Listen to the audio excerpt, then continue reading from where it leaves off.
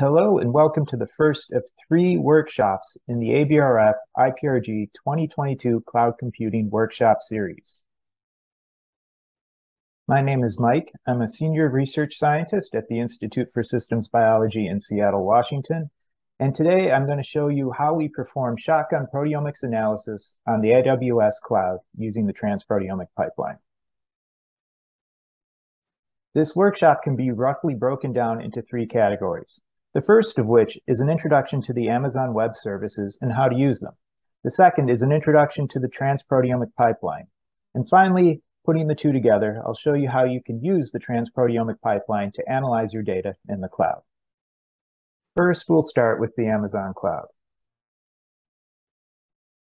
The transproteomic pipeline cloud computing makes use of Amazon Web Services, also known simply as AWS. AWS is one of several publicly available cloud services that we chose because of its large footprint and its abundance of uh, tools for developers. AWS has what's known as an Elastic Compute Cloud, or EC2, and it's called Elastic because it can be spun up or spun down as needed, and it's very cost effective. You'll pay only for what you use. Also included is what is known as a simple storage service or S3, which allows for easy transfer of data files to and from the cloud. The tutorial will give a brief overview of Amazon Web Services and instruct you in how to create an AWS account, access the account, and transfer files to and from the cloud.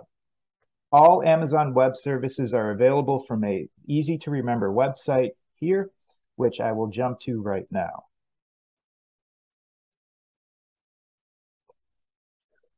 Once on Amazon's AWS webpage, you can get an overview of all the services and products available at AWS. Uh, included in all of this is an idea of the scope of AWS, where their servers are held, where upcoming servers are. It's good to know that when using AWS, the ideal thing to do is to pick a server close to where you are to ensure optimal connectivity and performance of your work on the cloud. The very first step in creating your account is to click on this button up here on the right.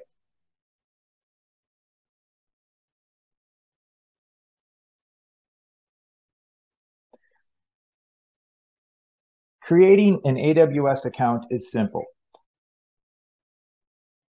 What you need is an email address,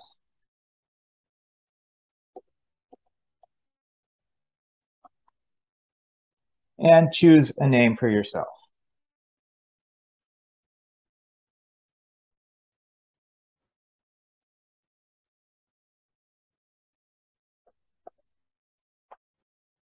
Once you verify your email account, you can proceed with the uh, login process. I will let you do that on your own uh, rather than go through and create yet another account uh, for myself.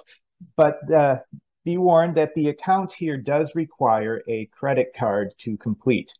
The credit card is so that any charges incurred uh, will be billed to the owner of the account. Now, creating an account does not cause any charges to be incurred. So don't worry about uh, creating any sort of billing issues immediately for creating an account. Owning an account is free. You will only ever be charged for cloud services that you use. So as long as you don't start up any cloud services, you won't pay for any cloud services. The other thing that's important to note is that when you set up an account here, you have what is known as a root user account. A root user account has all the access to the cloud, but also has the ability to set up sub accounts. This is ideal if you happen to run a core facility at your institute. What you can do is set up a single root account for your core that controls all of the activity and billing for AWS cloud services. You can then create what is known as an IAM user account for each of the users of your cloud. This allows other users at your institute to connect to the cloud and run their analyses. Billing will all be provided to the root user account, and then that can be dispersed amongst the, the members of your core facility as required. Once you have finished creating your account, log into it as the root user.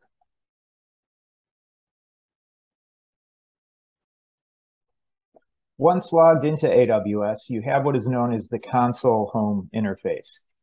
Here you can uh, access any of the tools available to the AWS under your account. Uh, good to note is that you are, your account name is located up in the upper right and your current uh, resource that you are connected to is listed as well. Since I am on the West Coast, I'm connected to US West through Northern California. It's best to choose a uh, AWS connection point that is close to you. There are lots of tools and services that are available inside the AWS console. However, I'm going to focus only on a few tools. The first of which is how to create IAM user accounts. Now, if you don't see this in the recently visited section of your console, you can simply go up to the top here and type in the service that you want. The first thing to do is to set up a new user account. By clicking on users on the left, you are brought up a list of your current users and their access privileges, as well as their recent activity. Clicking on the button on the right allows you to add new users.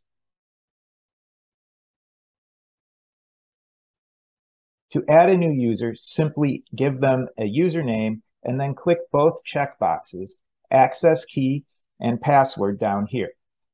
This will give the user the privileges they need to access the cloud and use the TPP. Click on the next button and proceed. All users will require a set of permissions that allow them to access areas of the cloud that they need to use. If you've created user accounts before, you can simply copy the permissions from those existing user accounts to the new user. But I'm going to go through the steps as if this has not been done before.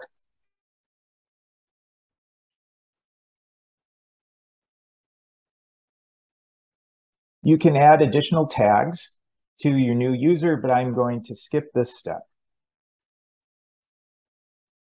Once the details are acceptable, you can simply hit create user.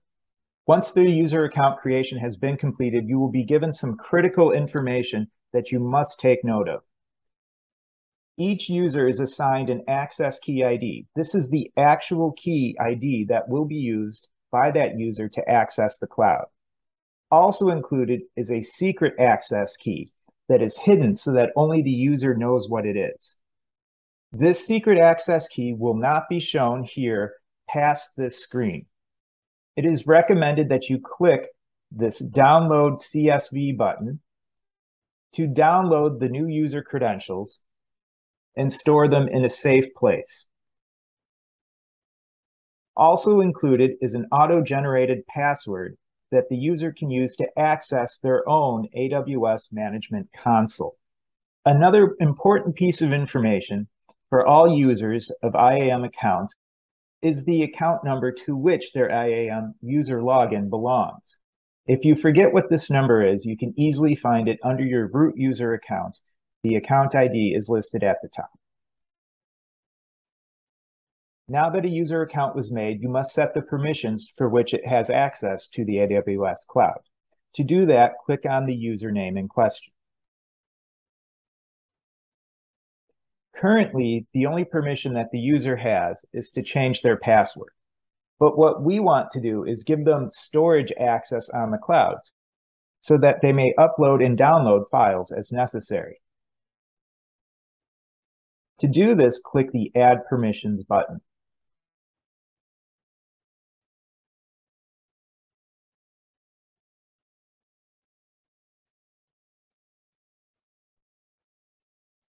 You can copy those permissions from an existing user, but what I'm going to show here is how to attach existing policies that are pre-made by Amazon Web Services. Click on the Attach Existing Policies, and what we want to do is allow S3 storage access for this user. So while there are many, many permissions available, and it is difficult to scroll through all of them, the easiest thing to do is to filter for the policy that you're looking for. There are currently 766 results, but we are interested only in file storage access on the S3. So we should type in S3. And here we can see that there are nine nine results. You can limit S3 access to, for example, read-only access, but here we want this user to be able to upload and download uh, files as necessary off the S3 storage. So check the box for Amazon S3 full access. For your convenience, you can see that it is also a policy that has been applied to other users. After reviewing the new permission, click Add Permissions. If we go back to our user screen, we can now see that Super Scientist has access, full access to the Amazon S3 resources. This concludes creating user accounts, and next I will show you how to access those accounts to upload and download files. To do so, simply sign out of the root account. This returns you back to the AWS webpage where you can sign back into the console as your IAM user. To do this, click on IAM user and provide the 12-digit account alias. Next, provide the IAM username and password and sign into the account. Back in the console, you now want to find S3. If it's not provided as a recently visited link, simply go to the top and type S3. This brings us to the scalable storage on the cloud. Files are stored in the cloud on buckets, which act much like folders on your desktop. The buckets actually belong to the account number held by the root user. However, since we gave all of our IAM users access to the buckets, those IAM users can see existing buckets that have been created. The user also has the ability to create a new bucket. To create a bucket, simply click the Create Bucket button.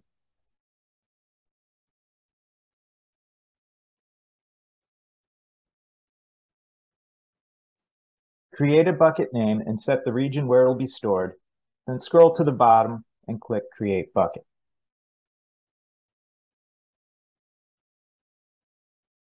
The bucket now appears in your list. If you click on the bucket, you'll see that it is empty.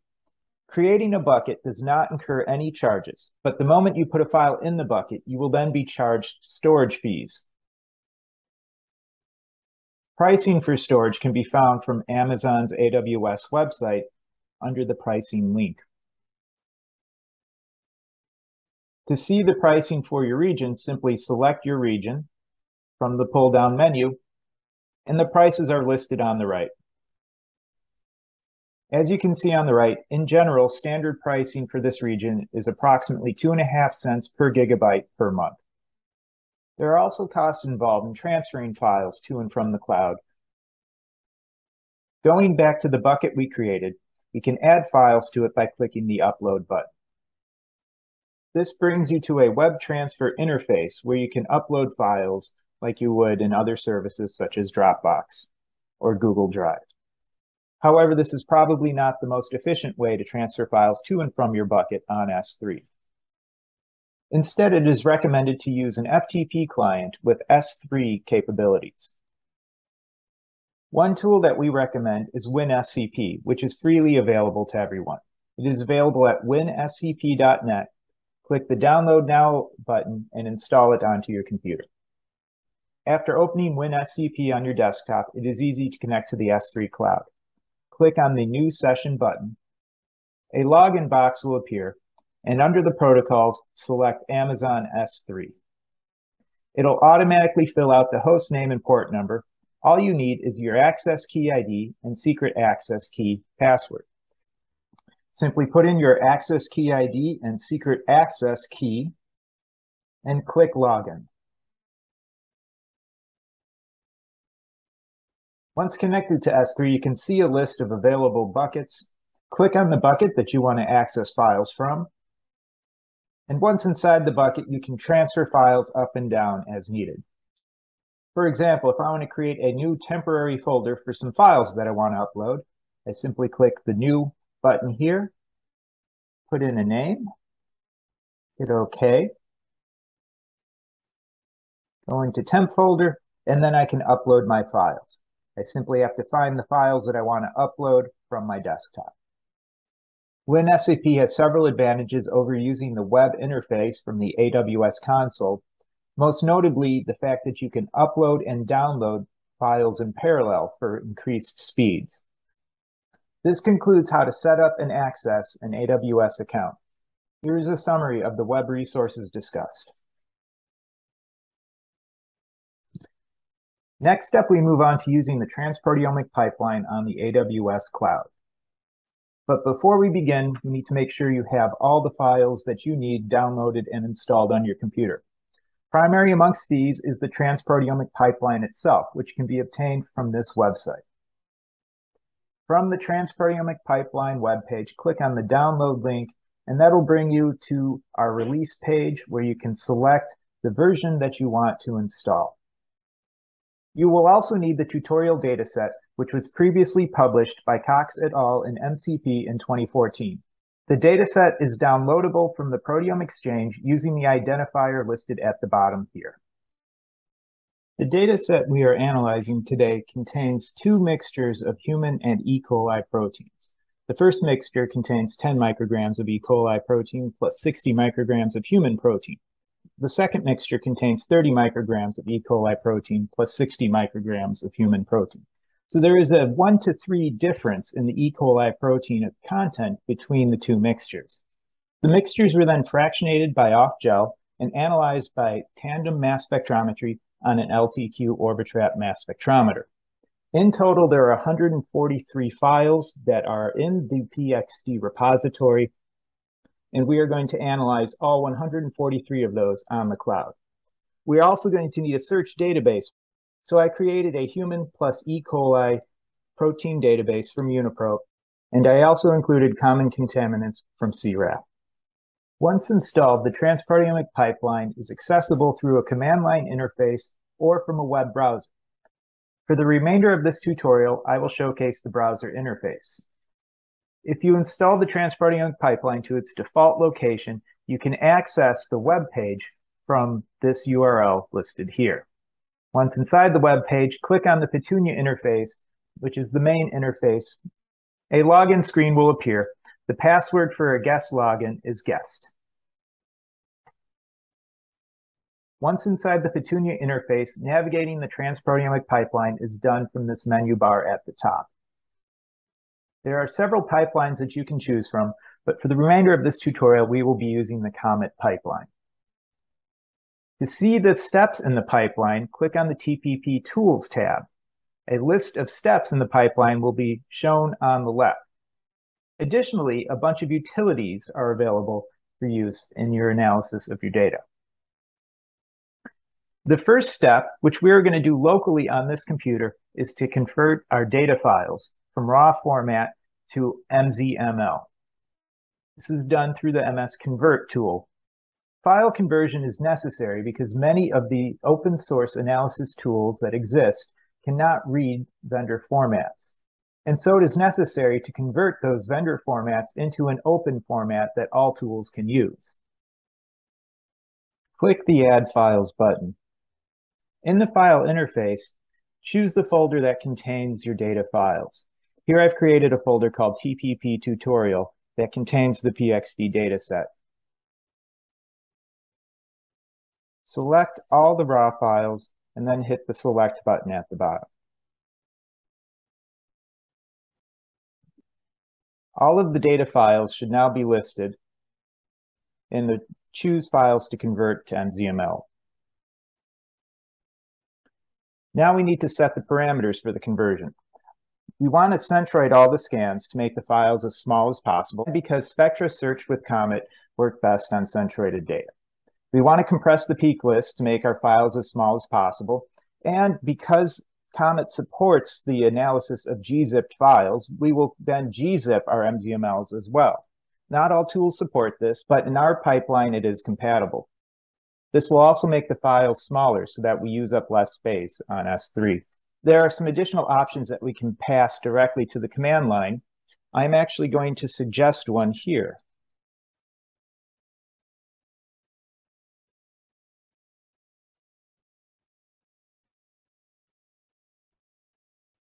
This particular command specific to MS Convert removes any peaks that have an intensity value of zero. Doing this will ensure that we have the smallest files possible. When you're set, click Convert to MZML. When you run a command in the TPP, a job status window appears, showing you the activities of the most recent job. Here we can see the conversion command that we just executed and the current status of the command. This window does not automatically refresh, but you can hit the refresh button to see the progress of the job.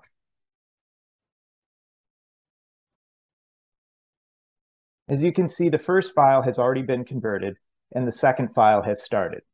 This process will repeat 143 times until all files have been converted. We are converting these files locally to save the expense of storage and transfer on the cloud. But if this isn't an issue for you, you may wish to convert your files on the cloud as well. It is safe to leave this page at any time. For example, you can check the file browser for the TPP, where you can see that all the raw files listed in the folder that we are currently converting, as well as the progress of some of the files that have already completed conversion. Don't worry, if you want to check on the status of your job, just go back to the Jobs button. It'll show you a list of uh, jobs that are currently running or previously run. The one that we are currently running is our MS Convert job, and we can click the View button to bring us back to the status window where we can see progress ha has continued on several more files and is steadily working towards completion of the job. While we are waiting for file conversion to finish, now is an ideal time to set up our bucket on S3.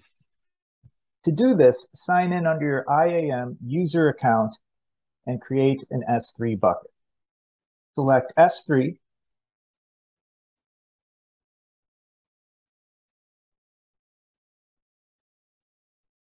and then create a new bucket for your files.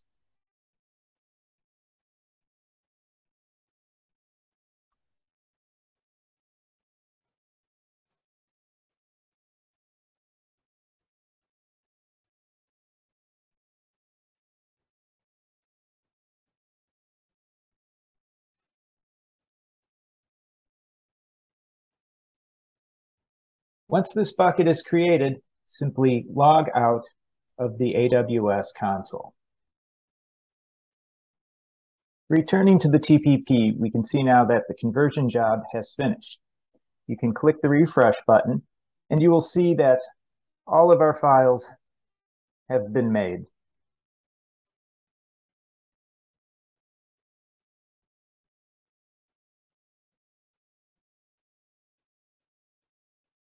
Additionally, logs of each file conversion are kept for you to inspect. Should there have been any problems at all, you can review the logs to figure out where the error was and correct it. The next step is to upload these files to our S3 bucket. To upload the files, start a new session with WinSCP and connect to S3. Use your access key and secret access key to log in.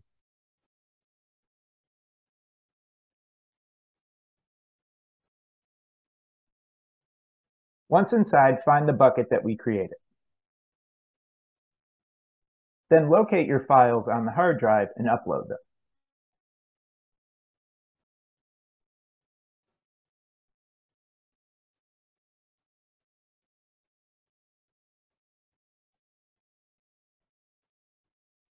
We only need to upload the mzml.gz files.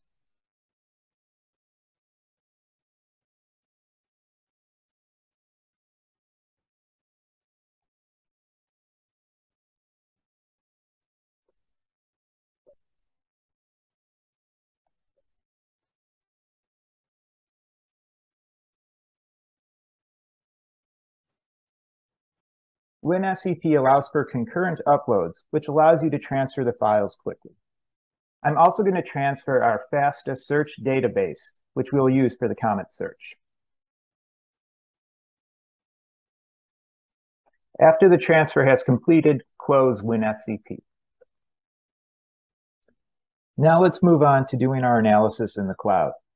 One of the easiest ways to launch the TPP in the cloud is to use the TPP web launcher for AWS by following this link. This will bring you to a new web page where you can start up an instance of the TPP in the cloud. To start up an instance of the TPP in the cloud, the first thing to do is use your key ID and secret and hit this little refresh button right here. This will sign you into AWS. Next, from this tool menu, go to Start Options. We'll bring up a new window here where you can select the type of instance you want to start. First, you don't need to install the demo or tutorial. Under instance type, you will see several options for the type of computer on the cloud that you want to run the TPP image. To learn more about the different instance types, go to aws.amazon.com slash ec2 slash instance dash types. Here it lists many of the different types of computers available to you. The ones that are listed in the TPP are called compute optimized. As you can see, the different models contain different numbers of CPUs, memory, and instance storage. Instance storage is important as some of our files will be stored locally on the instance that we are working with. If you need more power or hard drive space, you can choose a larger instance. However, it will cost more money. For our instance type, we will leave it at C5D extra large. Next, check the AMI or the image of the TPP that we are going to spin up. There are many revisions. It's recommended to use the most recent revision when given the option. We set our auto shutdown to eight hours, meaning that if the instance has been idle for this amount of time, it will stop running. This is to prevent you from accidentally forgetting about your instance, walking off, and then getting charged for it later. As an added convenience, you can specify your bucket immediately right here, and it will sync with the contents when the instance is started up.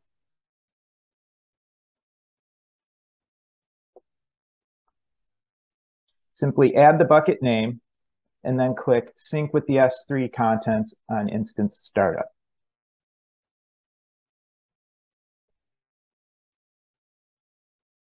When ready, click the OK button this has not started our instance yet. In order to start the instance, you have to click the Start Instance button right here. The moment you click Start Instance, you're using TPP in the cloud. It will take a moment or two for the instance to boot up.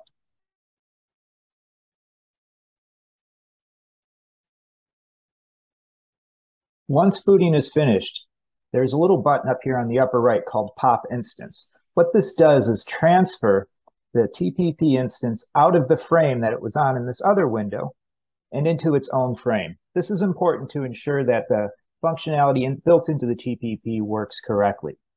You are brought to a login page, and just like on your local computer, the password for guest is guest. Now you're inside the TPP in the cloud. The first thing you can do is click on account and then go to Amazon Cloud.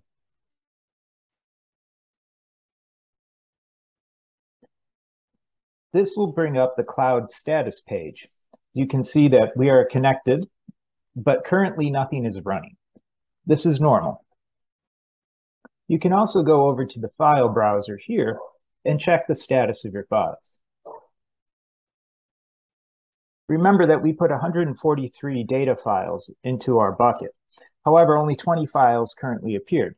This is because it takes a moment for the S3 to sync to our EC2 instance.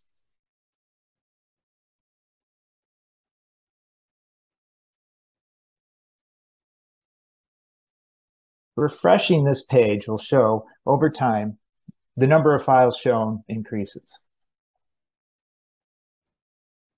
Please be patient and wait for all the files to appear in your instance. While we are waiting for the files, we can prepare for the Comet search. The first thing to do is to set up a Comet parameters file. This can be done from our file browser and then go into the subdirectory called params, which is contained with the instance. Here are a bunch of template parameter files for several tools in the TPP. We're interested in this Comet params files. We should select it and then hit copy. This will create a copy of the file to the clipboard in the TPP. We can now return to our data folder, scroll down to the bottom, and hit paste. This creates a copy of the Comet params file, which we can quickly search for right here. The reason why we use copies is because we don't want to damage the template file in case we want to use it for other uh, templates in the future. So we make our copy and then we can do all of our edits from here. So to edit this file, click on the params button located here. Inside the parameters, uh, you'll see all the parameters for Comet, as well as instructions for how to use those parameters. If you're unsure what any parameter is, you can click on this question mark over here, which will transfer you to a Comet web page describing the uh, parameter in question. I'm going to set up uh, the parameters for this search, which when we scroll down, what we want to do is use semi-digested trypsin enzyme with a maximum allowed miscleavages of three. I am also going to add phosphorylation on serine, threonine, and tyrosine as a differential modification. Now, this is not something I expect to find in this data set, but I'm doing this to show the types of heavy lifting analyses that were meant for the cloud. Scrolling down, it looks like most of the rest of the parameters look okay. I'm going to increase the spectrum batch size to make use of the resources afforded by the cloud.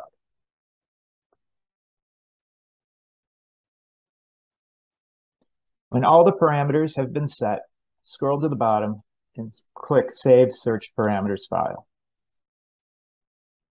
Once the files have finished syncing, scroll to the bottom and make sure that everything is there you should see 145 files, 143 of which are our data files, plus our search uh, database and our Comet parameters. If you need to refresh this page, you can do it in a couple of different ways, but the easiest thing to do is just hit the Files button here at the top, and then check to see that everything is listed down at the bottom. If the sync was not completed, you can manually invoke an S3 sync by clicking this button here. Once on this page, you can sync to your S3 bucket or sync from your S3 bucket. Right now, we only want to sync from our S3 bucket, if you can do so here. It starts a new job to sync the TPP to the S3 bucket.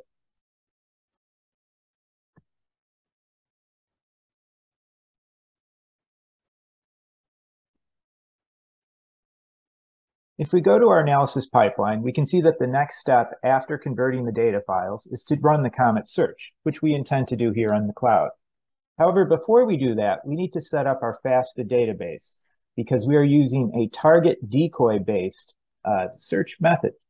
So if we go over to this databases tool and click on decoy databases, this tool will randomly generate decoy sequences for every target sequence that we give it. To do this, click the Add Files button and find our FASTA file. Now, there's a lot of files here. You don't have to scroll through looking for it. Just type FASTA up here in the Finder, and here is our file. So we'll click on our Search Database file, click Select, and then we're going to use the default parameters here, which are to create randomized sequences using these de Bruijn decoys. The tag for all the decoy proteins will be prefaced with the letters DECOY, and our output file name will be the same as our input file name with decoy appended to it. Then click Generate Decoy Databases. This generally, this step generally only takes a moment.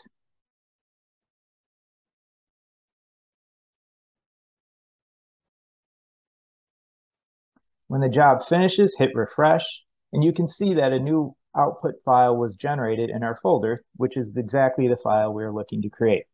I'm going to quickly open this file so that you may have a look inside, you can see that we have our original target sequences interleaved with decoy sequences for each of those targets. What is noteworthy is that while all decoy sequences are prefaced with the letters DECOY, they are also interleaved with either a zero or a one afterwards.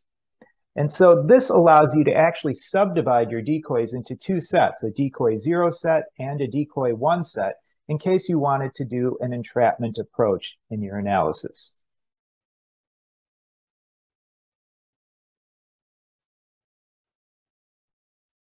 If we go back to the transproteomic pipeline, we can now go to our COMET search step. Over here, we need to add the files that we want to search. And here it'll suggest MZXML or MZML, or in our case, MZMLGZ files. We're just going to click the select all, which will select all 143 data files that we uploaded.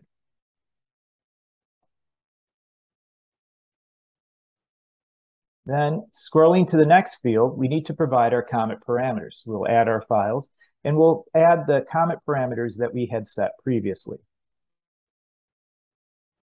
Scroll back to the bottom and you need to choose a sequence database. As you can see, the TPP suggested our default search database, but this is not the one we want. This is the one without the decoy sequences. So we want to remove this. Scroll back down, click Add Files, search for FASTA, and select the file that contains both the target and decoy sequences. Once this is done, your Comet search has been set up and you need to start it, but be sure to start it on the Amazon cloud. If you select the local machine, then it's gonna run it just on this instance and it's not gonna make use of the cloud resources available to you. Click the button and a job starts. Now, when you click refresh, you will see something. You'll see that the job, it's executing commands, 143 of these commands to be exact. But the commands are just queuing. So they're, they're queuing each analysis up to the cloud.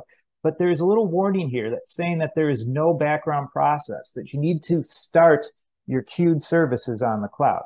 So to do this, we're going to go over to Account and Amazon Cloud. And here you can see that our current background processes are stopped. So we want to start these. So what you can do is select the type of computer that you want. And as you've seen before, there are many options, but we're going to stick to just the C5-4X large, since this is the only, since this is more than enough power that for our analysis. And you need to set the maximum number of instances that you want. Here we want to use a full 10 instances to get 10 searches running concurrently. And then the max utilization, I'm going to set it to one. Once this is set, click the restart button.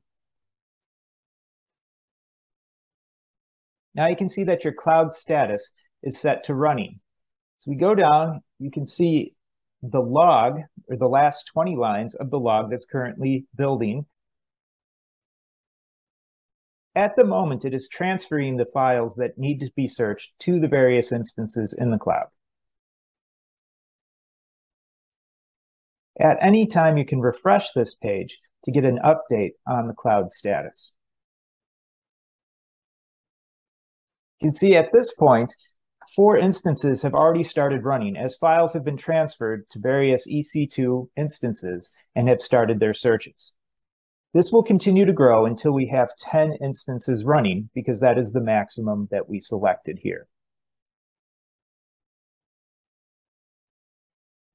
When a job finishes on any of these instances, it'll then check the queue down below and look for the next job to run.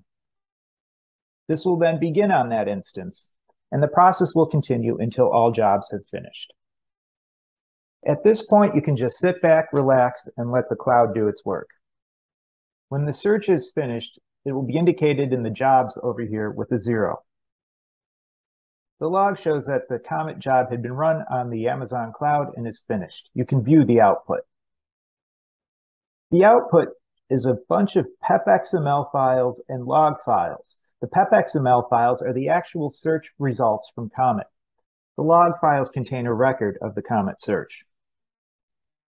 Next, we're going to validate these results and also combine the files into two subsets, one containing the E. coli 10 microgram files and the other containing the E. coli 30 microgram files. To do this, we go to the next step in the TPP pipeline, which is analyze peptides. This brings up the X-Interact tool, which is a convenient tool that combines many different steps in the pipeline all at once. We are not going to use all of these steps, but we are going to use a few, namely PeptideProphet, I profit, and ProteinProphet, which validate the peptide spectrum matches and then infer proteins from them. We're going to analyze each of the two subsets separately. First, we'll start with the E. coli 10 set. Click Add Files. Now you see all of your search results are listed all at once, mixed between the E. coli 10s and the E. coli 30s. So we want to filter these for just the E. coli 10s at the moment. Once this is done, click Select and then the Select button at the bottom. This chooses only the E. coli 10 results, which we will combine and name down here as an output file name E. coli 10. Next, we'll move on to the PeptideProphet options. We are going to use decoy hits to pin down the negative distribution because we have decoys in our search database. We know our decoys begin with the word decoy, but we're going to restrict this, this known decoy set to the decoy zero uh, labeled decoy uh, sequences. We're going to have unknown decoy sequences labeled as decoy one. This does an entrapment analysis. It is a way to validate the validation software.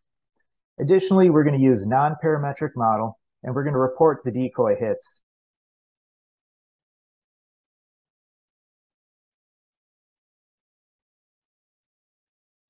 Moving down to iProphet, we are also going to run iProphet. And then following this, we want to run ProteinProphet following iProphet. We're going to leave all other settings the same, scroll to the bottom, and hit Run X Interact.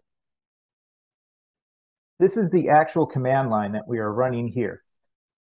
Unfortunately, it cannot be distributed over several instances on the cloud as yet. It is in fact a single command that is run and therefore is sequestered to just one instance of EC2, which happens to be the same instance that is running the TPP at the moment. We are going to have to repeat this process with the E. coli 30 set once this is finished. However, in the meantime, I'd like to point you to a resource, tppms.org, which brings us to our Transproteomic Pipeline webpage again, and over here on the right where it says cite, you can see this publication right here that when you click on it, takes you to the PubMed listing for this publication where you can find a free full text uh, copy of this publication. This publication provides additional in-depth details about the transproteomic pipeline and the steps that I'm showing you today. Back in the TPP, we can see that the job has finished. When we refresh, we can see that there are three files that were created. I will go over these files in a moment, but for efficiency, I want to start the E. coli 30 analysis first. So go back up to TPP Tools, Analyze Peptides, remove all of the E. coli 10 files that were there from the previous step. Go back to the bottom, Add Files, filter for E. coli 30, select all, click select, scroll down, name this E. coli 30, and then apply the same parameters down for PeptideProphet and iProphet.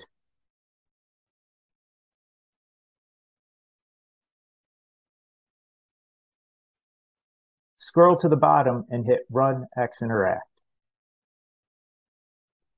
While this is running, we can go back to our previously viewed job and explore the files in more detail. So we click on Jobs, Viewed, and then X Interact, View at the end here, and we bring up our results from the last analysis. You can see that there are two PepXML results and one ProtXML result. One PepXML result belongs to PeptideProphet. The other one, indicated with iPro, came from iProphet. We'll look at the PeptideProphet result first by clicking on this PepXML button. Once loaded, you will see a complete list of all the PSMs that were returned by the Comet search. You can click the summary button up here to see that there are almost 1 million PSMs. Not all of these PSMs are correct. Our goal with PeptideProphet was to determine which PSMs are most likely correct and to filter away the ones that are not. You can see on the left here that PeptideProphet added this probability column, which assigns a probability that the PSM was correct or not. You can click on any one of these probabilities here to bring up a models page for PeptideProphet.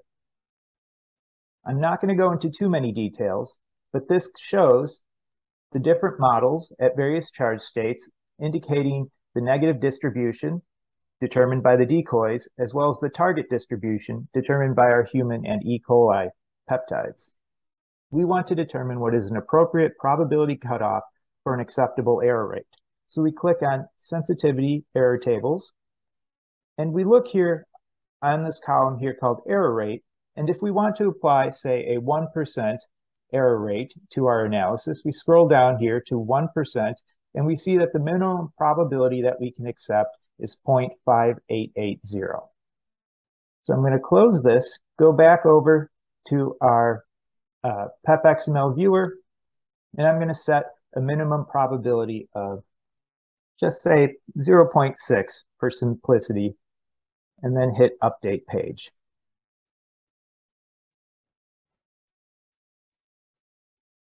As you can see, this removed about half of our peptide spectrum matches, leaving us only with the peptide spectrum matches that are most likely to be correct.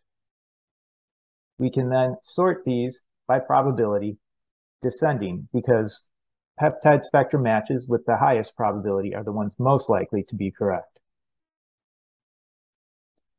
Once the sorting is completed, we can look through our PSMs. So you can see under the protein identifier for each of the PSMs, you don't see decoy at all. In fact, the first decoy is probably several pages down the way because having uh, assigned probabilities and controlled our error rates, we expect very few decoy proteins to be listed in these results. There are some other convenient tools that are available with this PepXML viewer, one of which is filtering options, where you can filter by anything you like. Let's say if we're only interested in the E. coli proteins, we can put in E. coli there and then scroll down to the bottom and hit update page. Once the page has updated, you can close the tab and you can see now only E. coli proteins are listed. If you click on summary, you can see we further filtered down the number of PSMs that are both validated at a 1% error rate and belonging only to E. coli to about 160,000. Those 160,000 make up approximately 11,000 unique peptides and about 1,700 unique proteins. There is a lot more exploring that you can do, but to move along with the tutorial, I'm going to close this tab for now and explore the ProtXML file, which is the protein inference file for all of these PSMs. As you can see, there are a bunch of proteins or protein groups listed, each of which has a probability. Like with PeptideProphet, you can click on this models button and then go to the sensitivity and error tables and determine a threshold that would give you an approximately 1% error rate. In this case, it would be a minimum probability of about 0.90. We can filter and sort as well. Minimum probability of 0.90. We can also order these by, let's say, the number of peptides and the number of PSMs in descending order.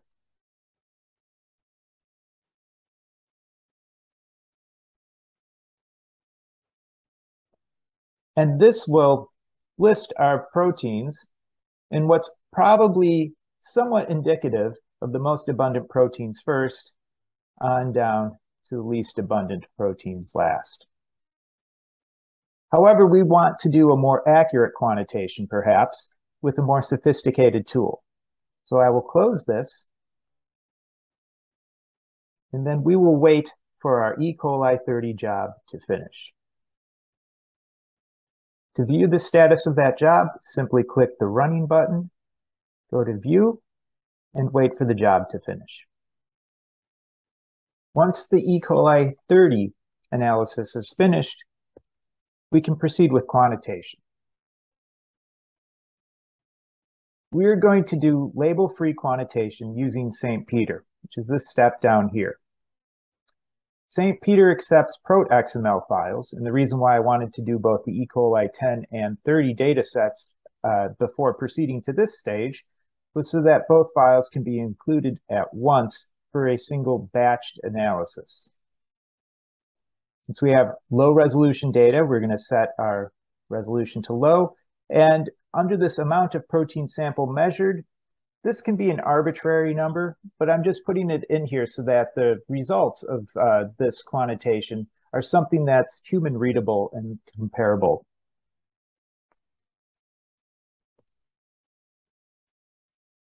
We'll also allow degenerate peptides in the protein quantitation. And click Run StPeter. The details of StPeter and how it works is outside the scope of this workshop, but you can go to this URL right here to download and read the manuscript for StPeter to get more information. Incidentally, this publication contains analysis of the same dataset that you are analyzing as part of this workshop. Click refresh when the StPeter job's finish. The output of StPeter is the same as the input, prot.xml files. Click on the first one, E. coli 10. This time when you view the prot.xml file, you'll see that new columns have appeared for quantitation. What we can do is under filter and sort, we can exclude any proteins that weren't quantified with StPeter, and we can filter the protein names to just contain E. coli. We can also sort the proteins by StPeter quantitation in descending order.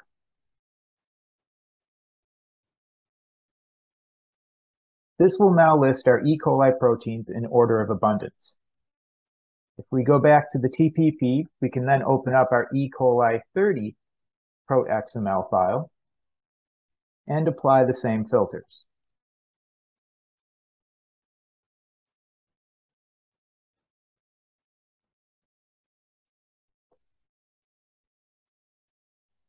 You can then flip between the two tabs to compare the two protein subsets. If you look at the quantity numbers here, higher means more protein. You can see that the E. coli 30 results contained higher quantities of the same proteins than the E. coli 10. This is because the E. coli 30 subset contained more E. coli protein. Now, the ratio is supposed to be 3 to 1, but it doesn't appear to be this way. But there are some very good reasons for that, which are explained in the manuscript, and I'll leave it to you to explore them further. Back in the TPP, there are two critical steps that we must perform before finishing this workshop. The first is to take the results of our analysis and put them back in our S3 bucket. To do this, click on Files, click on S3 Sync, and then click Sync to S3. Do not forget this step all the files for the analysis are currently sitting in the EC2 instance. When this instance goes away, so do your files. So it's essential that you transfer them back to your S3 bucket. After the transfer has finished, you can hit refresh to see the files that were moved back to your bucket. Make sure at the bottom of the report that your command was successful. Now you can close the tab that contains this EC2 instance.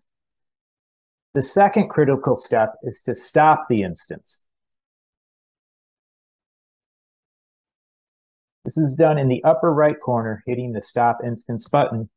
This finally shuts off the EC2 instance so that you are no longer charged for EC2 usage. To retrieve your analysis files, open up WinSCP and connect to Amazon S3.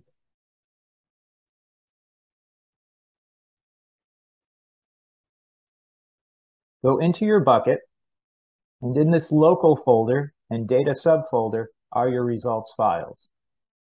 You can download the ones that you want back to your desktop. Or simply go up to the top directory, grab the local folder, and drag all the files at once.